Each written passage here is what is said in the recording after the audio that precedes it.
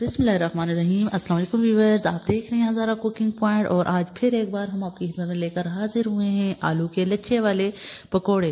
तो चलें चलती से सर्दी में बनाते हैं लच्छे वाले पकोड़े। तो चले, चलते हैं रेसिपी की तरह तो यहाँ पे सबसे पहले मैंने दो कप बेसन लिया है। मेरा ये बाउल जो है तो ये कप का ही साइज़ में है।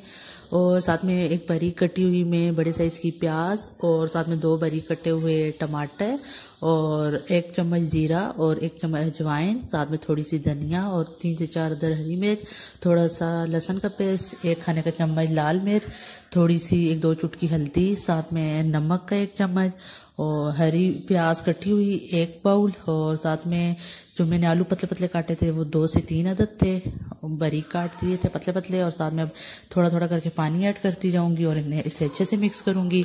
और हमने ये जो बेसन में जो मसाला डाला है इससे हमने बहुत थिक भी नहीं रखना, बहुत थिन भी। जब थिन रखेंगे तो पकोड़े ऑयल बहुत ज़्यादा रहेंगे, जब थिक रखेंगे मसाला तो बेसन के ये जो पकौड़े हैं, ये बहुत ज़्यादा सख्त हो जाएँगे, इसलिए हमने नॉर्मल रखना है यहाँ पे। तो यहाँ पे मैंने अपने चूल्हे पे कढ़ाई रख दी है ऑयल गर्म होने का वेट करते हैं। तो जी हाँ मेरा ऑयल गर्म हो गया तो अब इसमें हम पकौड़े डालते जाएँगे।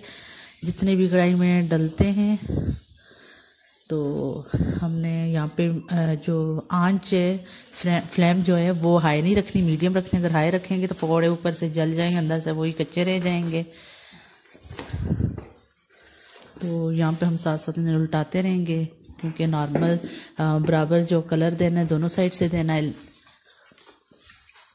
तो यहाँ पे हमारे ये पकौड़े थोड़े से रेडी हो चुके हैं, आप देख सकते हैं। अब इसी तरह हम और डालते जाएँगे, इसी तरह हम मज़ेदार पकौड़े अपने सारे रेडी करते जाएँगे। और साथ ही साथ अगर अभी तक आपने हमें सब्सक्राइब नहीं किया तो प्लीज़ सब्सक्राइब करें। अगर हमारी वीडियोस पसंद आती हैं लाइक करें शेयर करें। और बेल आइकन नोटिफिकेशन कॉल कर दें, ताकि हमारी आने वाली तमाम वीडियो सबसे पहले आप तक पहुँचें। तो यहाँ पे हमारे पकोड़े रेडी हो रहे हैं। और इसके साथ साथ ही मैंने बटर चाय की और ट्रक होटल चाय की रेसिपी भी दी हुई है, जिसका लिंक मैं डिस्क्रिप्शन में दे दूँगी। अल्लाह